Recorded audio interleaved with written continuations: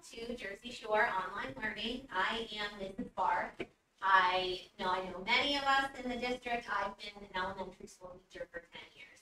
So I was a teacher at Avis for a few years and then most recently Salladasburg. So um, I came to take over the Jersey Shore Online Learning Program. So I'm going to kind of be your in-between person from the IU, taking care of your curriculum, and then the school district. And then Julie Williams, which many of you have met, is our secretary. So between the two of us, we'll be your point of contact throughout the year. Um, as you're probably aware, the Jersey Shore Online Learning Program is um, in conjunction with um, our IU. So we purchase our curriculum through vendors um, for elementary, middle school, and high school. So the curriculum that your child is getting is not necessarily the same curriculum that they would be getting in school. They'll still be learning the same standards and concepts, just maybe, you know, at different points throughout the year. Um, but, you know, still fulfilling their educational requirements. The benefits of Jersey Shore Online Learning um, is that students are still Jersey Shore Area School District students, so they can come in for different events. Um, I know we have picture day coming soon that we'll send to you um, you know, clubs, athletics as they get older so they can participate in. They have a student iPad, which I know we have an iPad insurance forms and you've all filled those out. Highly qualified teachers in their field through Edmentum, which is the curriculum we're going to use this year. And the most unique part of it is that you can access your courses 24 7, seven days a week. So it supports your child learning styles, you know, what works best for your family food service this year before we dive into curriculum. Um, students in school and in the online program have the option to eat for free this year. Um, but the only change with the online is that they need to order the day before. So if you know that your child wants to order a meal, they can order breakfast or lunch, but just make sure that you email our food service director before the end of like the school day. I would say before like two o'clock um, to order your meal for the next day. There's pink forms over there on the side, so if you're interested in that, it kind of walks you through the whole process. You'll just send her an email of what you're picking for that day. The menu choices are online. Um, it looks like an orange slice, I think, on the website. You can just click on it, access the menu, and then you can pick whichever building in our district that you want to pick your meal up. Attendance is probably the only main thing that has changed this year in Jersey Shore Online. So here's what we're going to do is, like we said, you have a unique opportunity that you can access your coursework seven days a week. I think you have until, well, you have until Sunday night at 11.59 to submit assignments. So if it works better for your family to work in the evening, you know, you have the option to do that. Um, what we will do is every Monday morning for the first day of that school week, we will check your child's um, progress from the prior week. So as long as they are not failing any subjects and they are not behind. You may remember from last year, there was like a graph, like a bar graph that would show their grade and it would show their pacing. So as long as they're on track, um, they won't be marked, you know, not attending. And essentially, you know, we won't have to make any contact um, for that week. In the event that they are behind or failing, um, we will take a look at the week before and any day that they were not online for at least 30 minutes, then they'll be marked absent for that day. Um, if they are behind or failing, we are going to implement this year that there's going to be a help, or we call it an SOS, for sessions offering support for students to come into their home building. So if your child would go to Jersey Shore Elementary School, they would come into Jersey Shore Elementary School on Thursday, will be our elementary day. So they would come in on Thursday and they would work with me, basically just, you know, to get them on track. If they're struggling in a content area, you know, my my jam is elementary school, so I should be able to help them and get them back on track.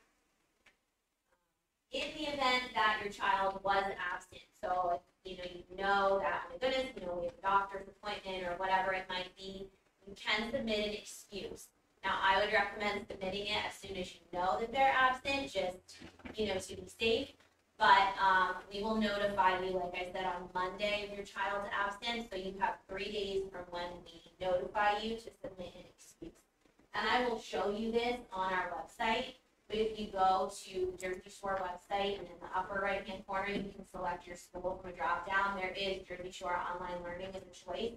And on every single page, um, this button is there. And You can just click on that green button and an email, um, will pop up and you can just type that email and it will come directly to us, your excuse. So you don't have to mailing anything in or for calling, you know, that should be a really easy option. Um, How will you and your child know if they're on pace? Um, our platform is similar to Genius this year. I said elementary switching to Edmentum, but it's gonna look almost identical, just a little bit more user for younger learners. So when they go in there, um, they can look at each of their courses and it will display, you know, the start and the end date. Um, and then there will be pacing. Pacing will indicate if the child is ahead or if they're behind. Um, and then, you know, you can also look at, I believe it's called student activity. There's a student activity tab and it shows you, it actually keeps account of how much time, one, that they logged on each day in each course, but then also, um, the total for the week. So you probably also remember from last year, we don't have to worry about this as much at elementary, but if they're up, like they have their, you know, math course up, but they're secretly watching a YouTube video, it's not gonna track that they are actively working in their course. So they have to actively be, you know, working, there's some little mini quizzes or little checks for understanding that they have to do. Basically, it's just showing that they are fully engaged and working in their curriculum. Um, we'll talk about that yellow highlighted section later, but it's just something I like to, um, really remind everyone of, is the grade that is posted on the bubble. And we'll see this much more clearly later. But if you pull up the dashboard, it will show you like ELA, English Language Arts. And it might be like even next week, you'll only be in the course for three days, let's say. You might check that and say, oh my goodness, my child has a ninety-five. Um, and they only submitted four assignments.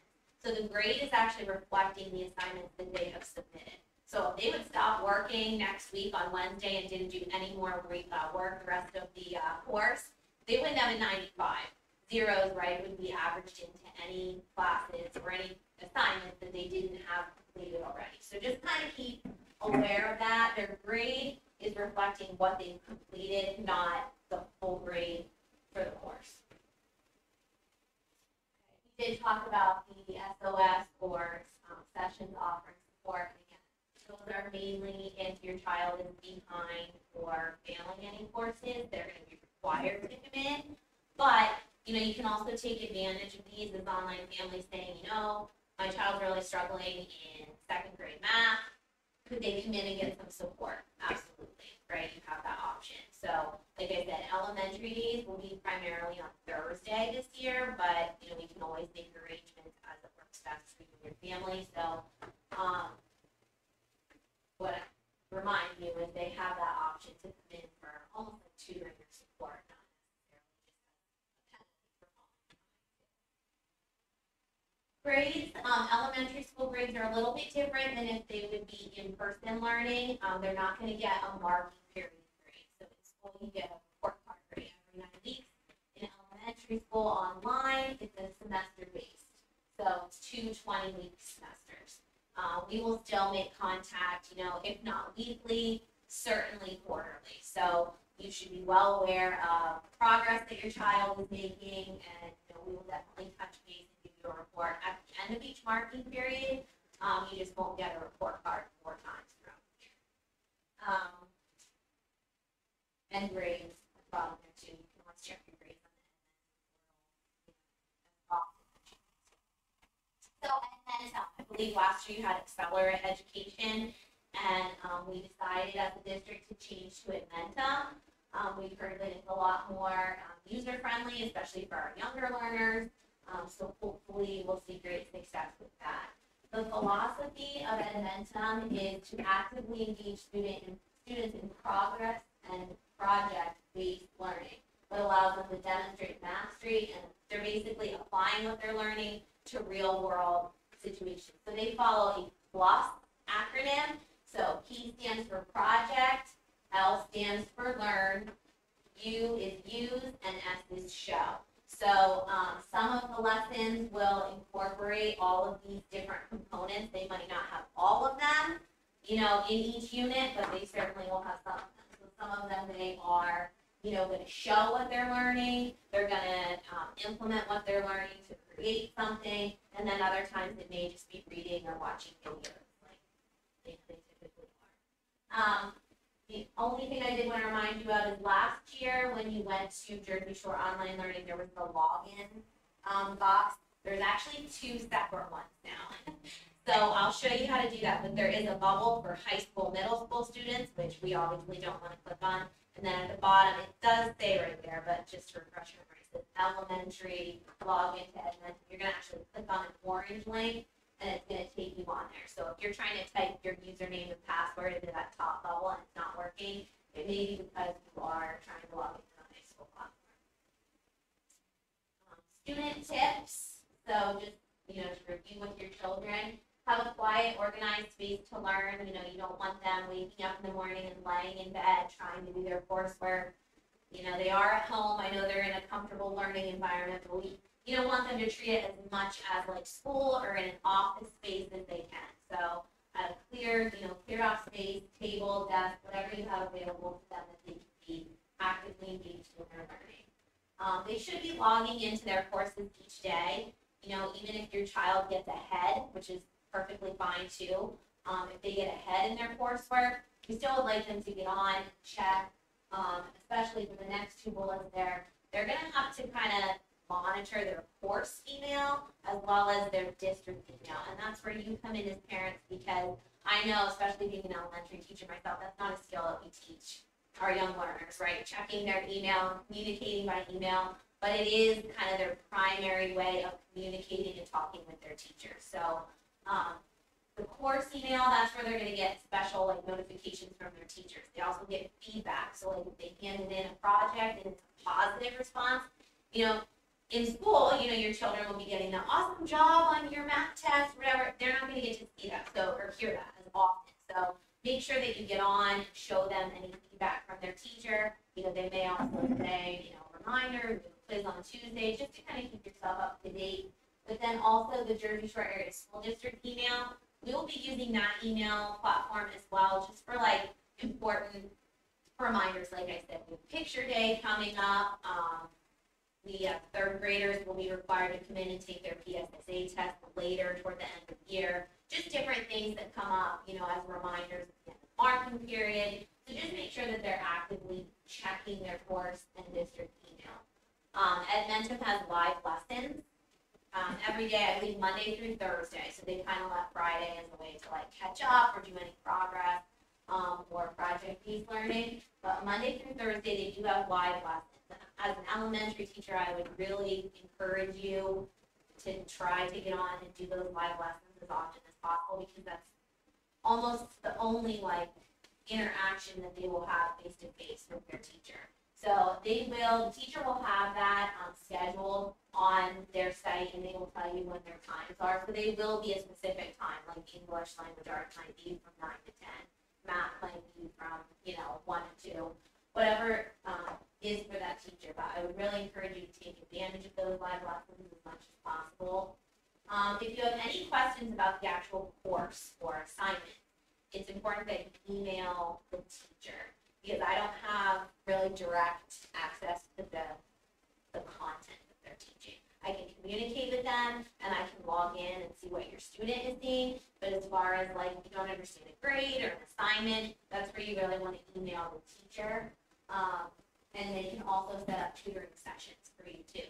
Um, one cool thing that I noticed on there was they have office hours or times that you can call the teacher for help at any time, but then they also have, almost reminds me of like if you call the doctor's office and it's after hours, right? They may refer you to another pediatrician, um, similar to this. So if you call and it's not within your math teacher's office hours, someone from the helpline will pick up and they can still help you and tutor you in that. So that's another great and then I always remind our students, I know we have some younger ones who may not have learned our BARC rules, but in our elementary schools, we do follow BARC, which is our acronym for be respectful, act responsibly, remember safety, and keep on learning. So making sure, you know, that they are representing our school district in a positive light, all of those expectations, and being respectful. you know, to their online teachers and then the program as well.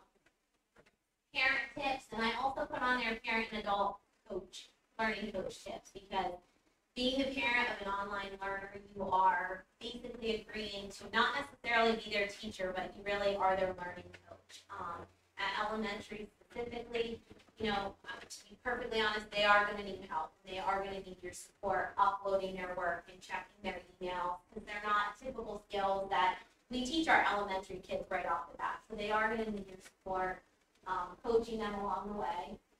Um, transitional help checks, checking their email, responding to their teachers, providing an organized space, monitoring their assignments and pace. That is really difficult for students to check um, that bar graph.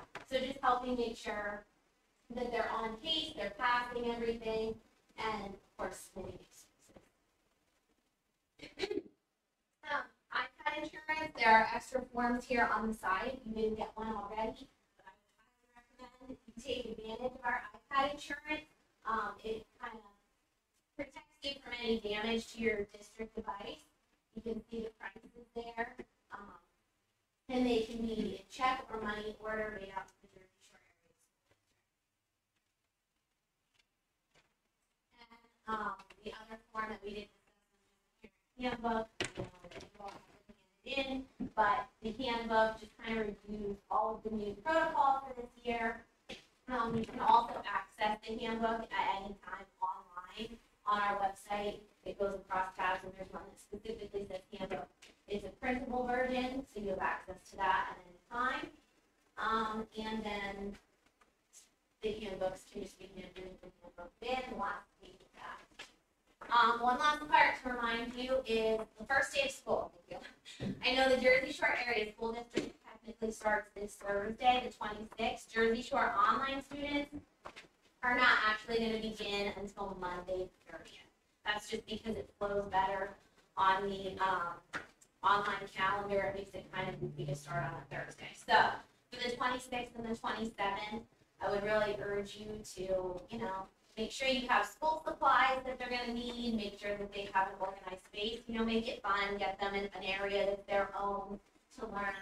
Um, another great thing to do could be to go through, make sure they have all their courses in there, um, which we'll talk about here in a minute. Make sure that they are all on there. They may not, they won't be able to access any coursework until Monday. So I know a couple of people said, well, can we start early? Which is great. They won't be able to though. They won't be able to actually start their coursework, but I believe they can still like email their teacher, like, hi, you know, my name is Sally. I'll be in your math class this year. And they can get a response back from the teacher. Um, daily class schedule, this is what Edmentum suggests for daily times for success. Um, exact path, which I will talk about a little bit more, this is extra in addition to all the courses that your child is gonna have.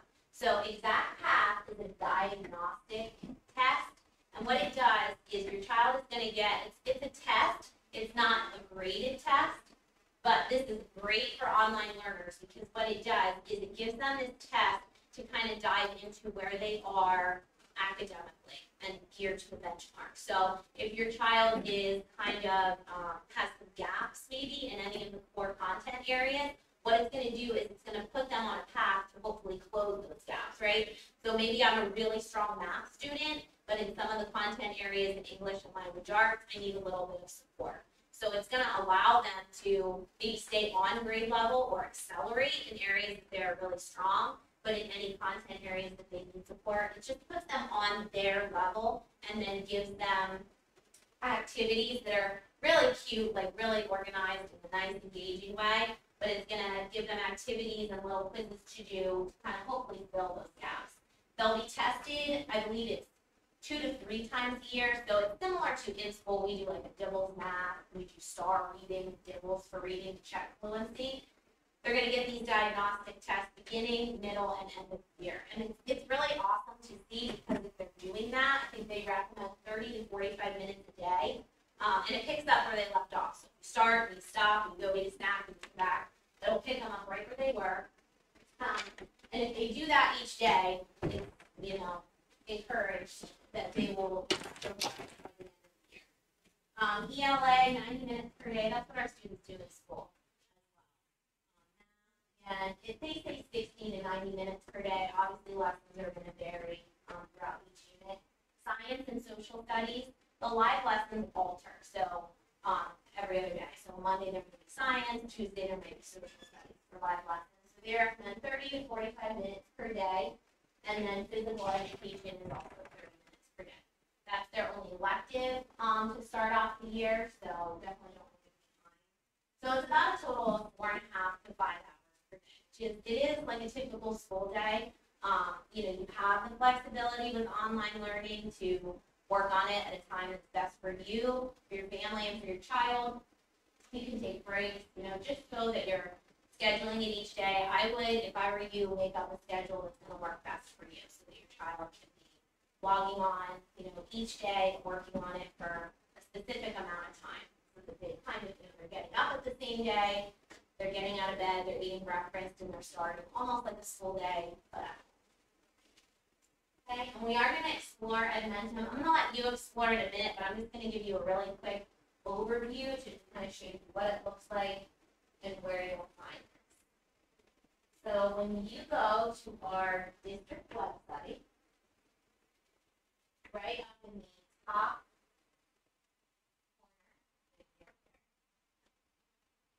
select a school, and you're gonna select Jersey Shore Online Learning. And this site is definitely under construction, because we're trying to make it as user-friendly as we can and update as much information as we can. So it may change, um, looks here and there throughout the year, but the tabs will never change. So across the top, the third one in, you can see login, and then the fourth one, there's handbook. The handbook is where I told you, you can always access the PDF version, if you need to print it, if you need to refer to it, handbook is always there. But you're probably most often gonna be using that on, um, login tab to get onto your online course. Now, just a reminder, I did refer to this in the beginning, that top box, that's for high school middle school students, which it says right there. So down below, where it says elementary Edmentum login, you're gonna click on that orange link. I would recommend saving that or putting that in your, you know, favorite school bar, just so that you're popping up to that each day. Now, I'm not gonna log in as a student, I'm gonna log in as a demo student, so it's gonna look just a little bit different, um, for my view. Now, if you look on mine, I think it says I'm enrolled in forty-eight courses. You will not be enrolled in forty-eight courses, you'll be in six.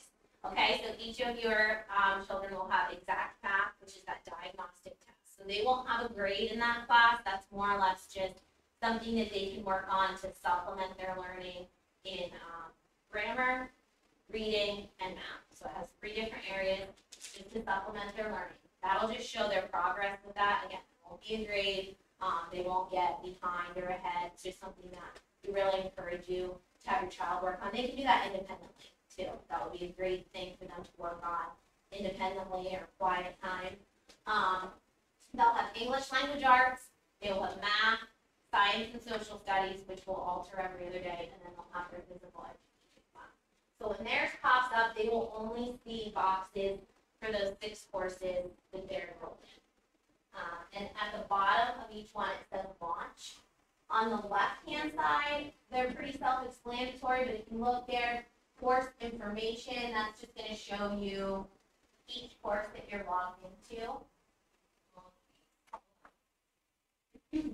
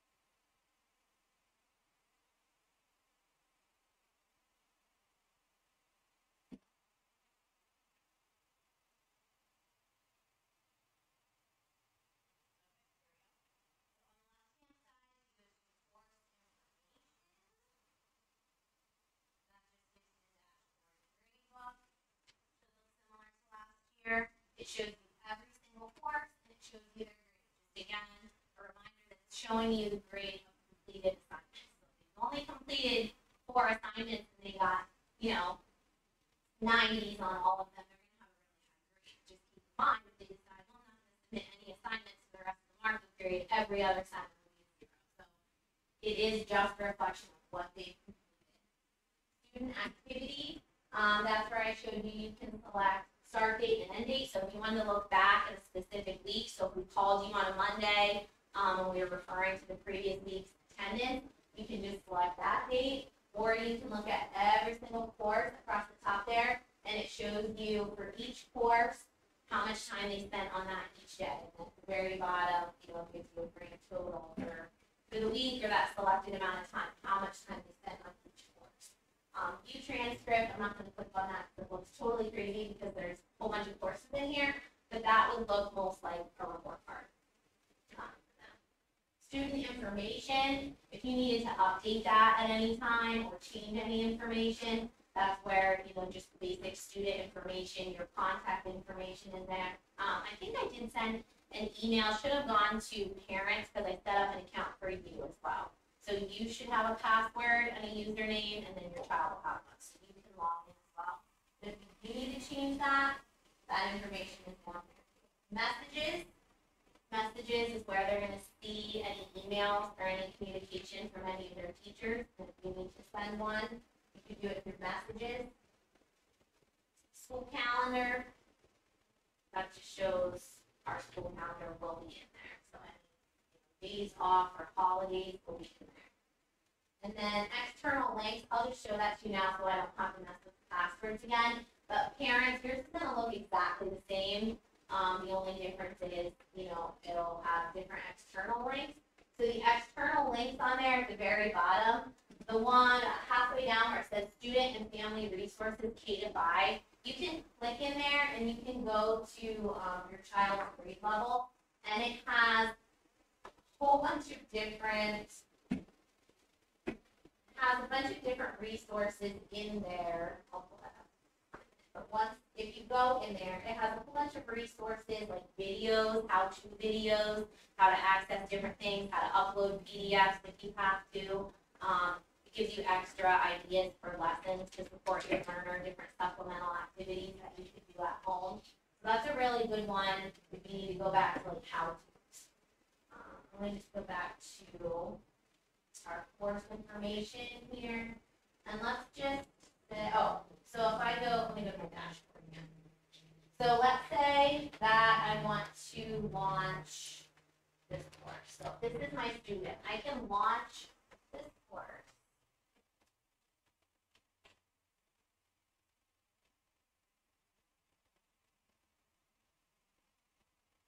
And this is what it will look like each day. So on the left-hand side, you can see all of their classes. So include here, this would be a first grade student. First grade ELA, they have health, math, science, and social studies. So on the left-hand side, that lists, uh, lists their courses, and then across the top are the days. So that's your five days. You just click on those. Those are the different activities that they need to complete that day. Now, once they've completed it and they're done, you can see the green bar across the top shows completed. If you look at the second one down under health, it looks like day three, they haven't completed those. They don't have that green bar. So that'll be a good way for you to check their pace and see if they've completed everything for each day for each of their courses. Okay?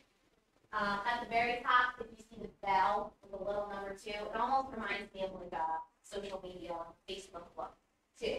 So if they click on that bell, they can also see on there like that progress so that's telling you that positive feedback from their teacher as well as any, you know, information. So, um, the first one says that their work for big ideas has been, um, a retake. So that means they maybe needed to retake the quiz or they didn't get a score that they wanted. I think you have three chances to retake the quiz. So, um, that's where they would get access to click on that. Halfway down, it says like if they get a grade for any of their assignments, that's where they can check any of their grades that they got, or, um, then anything was submitted. Okay, so what I am gonna let you do before you leave, I am just gonna make sure that you can sign in and you can access, um, your student's dashboard. Don't panic if the courses aren't on there, because we don't start our online calendar until the thirtieth. So that card that says Edmentum on it, that's what they're gonna use, um, to log into their. Does anyone have any questions that you can think of? I'm sure some will come up as we get into the dashboard.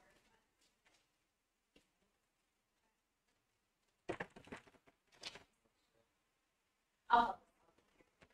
Just like I said, please, at any time, feel free, if you're unsure, you know, that, that's my position, online learning, that's my focus. So I can help, if I can answer the question, or if it's something for, um, you know, the child's teacher, I can definitely steer you in the right direction